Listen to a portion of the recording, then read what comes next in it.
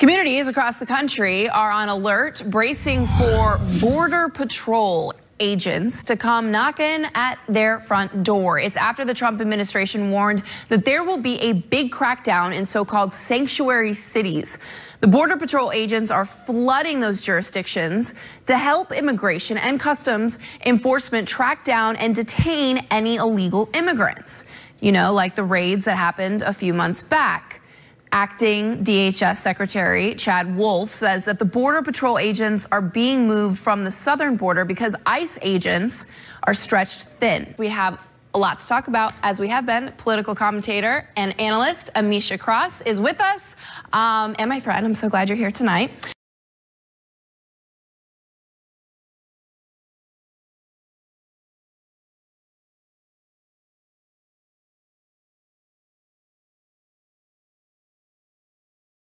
So, what uh, what do you think about the last week in terms of Bill Barr and his standing as our Attorney General, given what 1,100 you know career prosecutors deem to be favorable treatment? Wine is getting a lot cheaper. Yes, after years of feeling like you were left out because you couldn't afford that trip to Napa with the girls or guys.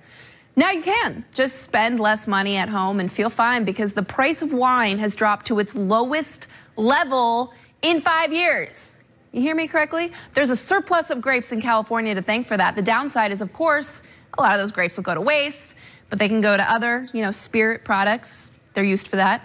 But it's because millennials are drinking more of these type of products than wine. So I'm going to tell you right now, this millennial likes her wine, and 20 years that much time that it's at its lowest price, drink up.